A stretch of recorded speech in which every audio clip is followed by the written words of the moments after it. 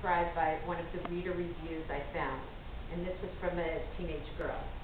It made me laugh, it made me cry a lot, and it made me appreciate the people I loved in my life.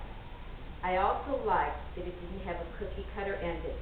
It was realistic and not false in any way. Please help me give a warm welcome to Morgan Matson, who writes in a way that touches people's hearts.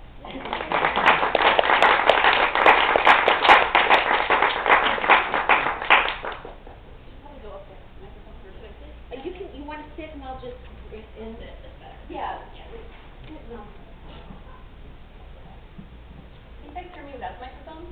Mm-hmm. Yeah? Is it better with the microphone? No? Can you hear me? Yeah. Uh, okay. Let's skip that then. Hi, thank you all for coming. Um, I thought I would maybe talk a little bit about the book and then maybe read a little section and then, um, we can do like a Q and A. If you guys have any questions about the book, if that sounds good people? Okay.